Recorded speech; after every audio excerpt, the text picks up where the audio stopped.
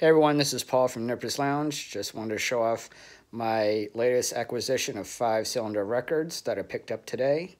We'll have these uploaded soon to my channel, so look forward to seeing them.